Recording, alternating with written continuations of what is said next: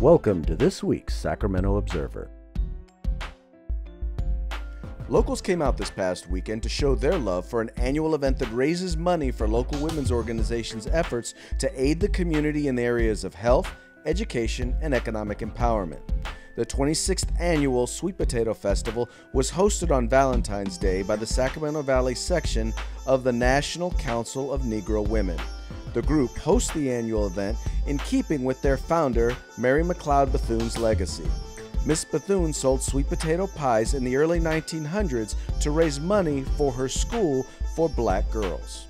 As a part of its Black History Month offerings, members of the California Legislative Black Caucus hosted a special screening of the documentary Forgotten Four Integration of Pro Football at the Crest Theater last week.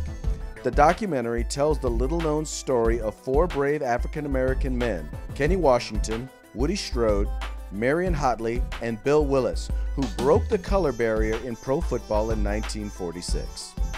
She may be retired, but health still matters to local doctor Sherry Mitchell James. Dr. Mitchell James, a former pediatrician with Kaiser Permanente, was recently recognized as the Sacramento Kings Dream Big All Star recipient. The award was presented during the team's Black History Month celebration at Sleep Train Arena right before the NBA All Star break. Dr. Mitchell dreamt big in 2012 when she co founded Scrumped, the first lunchbox home delivery service to provide ingredients needed to make a healthy and easy to assemble lunch for children. Educational experts teamed up with local families recently to share research and best practices aimed at improving academic success for area students. The Parents Making a Difference sessions were held at Laguna Creek High School throughout January and February.